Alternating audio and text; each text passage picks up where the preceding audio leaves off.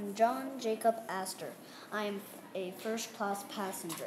I was born on Wednesday, 13th July 1864. I was 47 years old when the Titanic took its maiden voyage. My occupation was property a property developer. Life on the Titanic was fancy. I could eat fancy stuff like fresh lobster ro- and roast duckling. I was traveling to New York because I was back from a honeymoon.